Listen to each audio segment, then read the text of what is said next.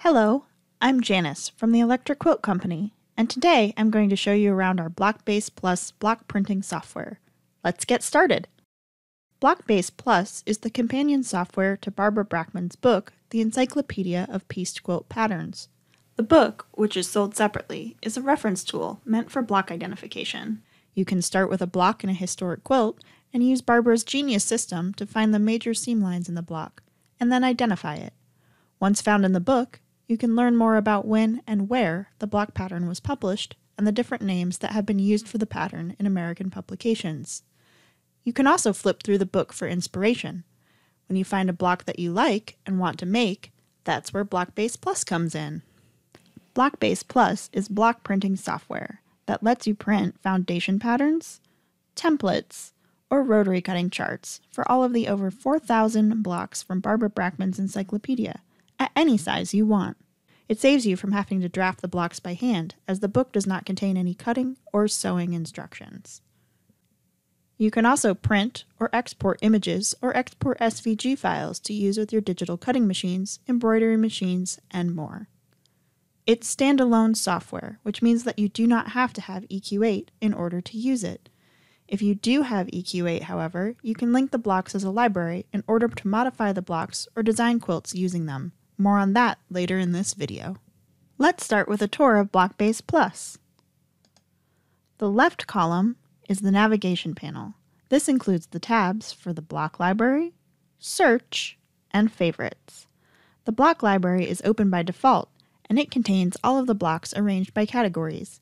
These categories and subcategories match the arrangement of the blocks in the encyclopedia. On the right, we have the block viewer on the top and the note card panel on the bottom. The note card panel can be made larger so that you can see more information, or smaller so that you can see more of the blocks. Across the top of the block viewer, we have menu options for controlling how the blocks appear.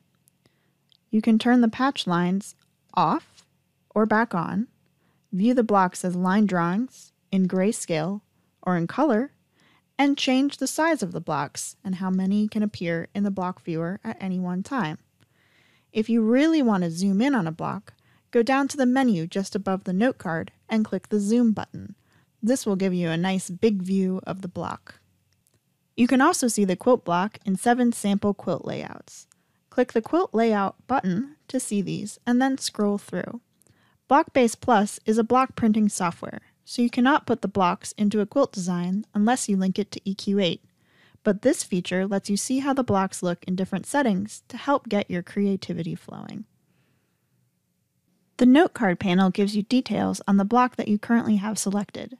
This information includes the Brackman ID number, which is the same number the block is assigned in the encyclopedia, the size at which we drew the block, the category and subcategory in which the block can be found, and characteristics of that category, as defined by Barbara Brackman. It also includes a list of all the published names that Barbara found for that block. If you click on a name, you can get more information about the publication in which it appeared. The search panel helps you find a block quickly so that you can get to sewing. To open the search panel, click on the magnifying glass. On the search panel, you'll see four different ways to search. The first is by Brackman ID number. If you have the encyclopedia and have located a block that you want to make, you can just type in the ID number and then click Search and the block will come up. The next search option is by published name. This actually has two ways to search. The first is to scroll through the alphabetically arranged list if you just want to browse. The second is to type a keyword into the search box. For example, you can search Ohio Star which brings up four blocks that have that block name. Or you can get more search results by just searching for Ohio, which brings up eight blocks, including the four Ohio stars. The next search option is by category. This lets you search by a combination of options. For example, you can look for blocks that can easily be sewn by beginners, that were found in publications from the 1930s, and which are bird themed. This search gets 28 results. The blocks don't all picture birds, but they have names that evoke birds, like Wild Goose Chase. The last way to search Blockbase Plus is by source. This lets you search by publication. For example, 88 blocks were published in Aunt Kate's Quilting Bee. The last tab in the navigation bar is the Favorites tab. You can add a block that you like to favorites by first selecting the block and then clicking the Favorites button above the note card. To remove a block, simply select the block again and click the Remove from Favorites button. Click on the Favorites tab to see all of your favorite blocks. Blocks are sorted on the Favorites tab in the order in which you added them. On the Favorites tab, there are also a number of fun features. First, you can print a contact sheet of all of your favorite blocks. You have a number of options for what information to include and how you want to sort the blocks. Print your favorites and hang them in your sewing room for inspiration or keep track of blocks that you want to make. If you own Electric Quilt 8, you can also export your favorites list as its own library. All the blocks from Blockbase Plus will appear in EQ8 if you own both programs, but this feature makes it easier to find the blocks that you added to your Blockbase Plus favorites when you're in EQ8, so you can get to designing and sewing even faster. Keep in mind that each time you make changes to your favorites library, you will need to export it again for those changes to appear in EQ8. Now that we've found some blocks that we want to make, Let's take a look at the various printing options to help you create them in Fabric. You can print a block from Blockbase Plus at any size, and there are four printing options. Let's take a look at this block to explore the block printing options. Block printing is a great way to print a large size reference block as you are sewing. Or you can make the block small by clicking Custom Size, entering the size you want, then selecting the outline drawing style, and checking the Print as many as fit option to create a coloring page where you can play with color combinations and design. Now let's look at printing foundation patterns using this block. When you choose Print Foundation Patterns, you can get lots of options for customizing the way the block is put together. If the block is foundation pieceable, Blockbase Plus will suggest sections and a piecing order but you can change this if you prefer. If you like the sections but want to change the piecing order, you can do that on the Numbering tab. Once you're happy with the way the block is sectioned and numbered, you can further adjust the settings to customize the block.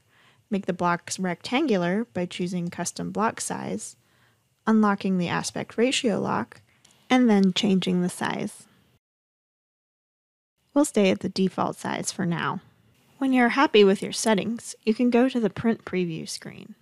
Here, you can move and rotate pieces to change how they fit on the page, reduce the number of pages, and reduce the number of pieces split over the page breaks. Click Print to print your layout, or click Save as PDF to easily save a copy. Blockbase Plus will return to defaults when you finish printing a block, so saving as a PDF is an easy way to keep your customizations to use over and over. You can also print templates from Blockbase Plus. Let's look at this block for an example. Again, once you've selected print, you have a number of options to adjust the sizing, add or remove the seam allowance, adjust the size of the seam allowance if you want a larger margin for something like English paper piecing, and more. You also have the option to print unique templates. If we select that and then go to Print Preview, you'll see that you get one of each shape needed to make the block. Again, you can move them around to fit on one page. Alternatively, you can opt to print all templates. This will give you all of the pieces used to make the block. The Print Preview screen has a number of great features. You can zoom in using the marquee zoom, which will zoom into the selected area. This makes it easier to move pieces around. You can also zoom in and out using the plus and minus buttons. Click Fit All to view everything on the screen again. You can also add more copies of the same piece. Select the piece, then click Copy and Paste, or use keyboard shortcuts to make more of the same patch. If you accidentally make too many patches, or just want a certain shape, just select the patch and then click Delete. To ensure that your printer is printing at the correct size, you can add a 1 inch scale square. This square measures 1 inch on all sides when printed correctly, so you can be confident that your block templates or foundation pieces are accurate. The last printing option is to create a rotary cutting chart. This will give you information on how to cut the patches for the block using a rotary cutter. The chart shows where to make subcuts to create things like quarter square triangles and will tell you how many of each patch you need to cut. Another new printing feature in Blockbase Plus is the detailed view for the rotary cutting chart. The detailed view will calculate the number of strips you need based on the number of blocks and your usable width of fabric. For example, if we want to make 8 blocks and my usable width of fabric is 40 inches, then I will get the instructions for how many of each patch to cut. Looking at the details, I can see that I need 2 strips to cut 32 patches of patch A, and I need 1 strip to cut 8 squares of patch B, which will be further cut on the diagonals to get 32 half square triangles. And I'll need 64 diamonds. In addition to printing, you can also export a few different file types from Blockbase Plus. To do this, we'll select the Export button above the note card. You can export an image of a block as either a JPEG or a PNG file, and can select the resolution and size of the image. You can also export SVG, or Scalable Vector Graphic files. Blockbase Plus is the first software from Electric Quilt to have this option. SVG files can be read by your digital cutting machines, embroidery software, 3D printers, and more, and we have detailed tutorials on our support site to assist you in using the files. Choose the resolution that works best with your particular software, and keep in mind that you might need to experiment. You can also choose the size you want the finished block to be, if you want to export an image of the block, or templates, which gives you the individual shapes for the piece. If you select templates, you can adjust the seam allowance, or enter 0 if you want no seam allowance at all. Choose to export unique or all templates, just as in the template printing options, and turn mirroring on or off, which is useful if you're cutting fabric for applique. Then click Export. The exported template file will also include a 1-inch scale square to help you make any adjustments to the file once you have imported it into your SVG reading software. Please be aware that all SVG reading software is different, so you may need to make some adjustments to ensure the sizing is what you wanted. As I mentioned previously, Blockbase Plus is standalone software. This means you do not need to own Barbara Brackman's book or any other program in order to use it. If you happen to own our quilt design software, Electric Quilt 8 or EQ8, then you can link the two in order to be able to edit the blocks or use all of the Blockbase Plus blocks in your EQ8 quilts. If you install and open Blockbase Plus after installing EQ8, then the two programs should automatically link. We have a help page for how to link them manually on our support site if for some reason the Blockbase Plus blocks do not appear in EQ8 automatically. Keep in mind you may need to make sure your EQ8 is up to date. To find the Blockbase blocks in EQ8, go to Libraries, Block Library, and scroll down to the end of the navigation list. You'll see Blockbase Plus listed. Click on the name to expand it, click on a category, then a subcategory, and you'll see the blocks. If you've exported your favorites list for EQ8, you'll see an additional library that contains your favorite blocks from Blockbase Plus. Again, click to expand it. If you have more than 256 blocks in your favorites, you may see more than one block style listed with the names favorites 2 or 3. Once you've found the blocks, you can easily select one and add it to your sketchbook or edit the block to the work table in order to use it in your quilt designs. When you first get Blockbase Plus, you might be wondering how to learn all of its features, and I want to show you all the help options that are built into Blockbase Plus. When you open the software for the first time, you'll see a pop-up screen with lots of information on Blockbase Plus. You can always find this screen again by going to Help and selecting the Getting Started on Screen tour.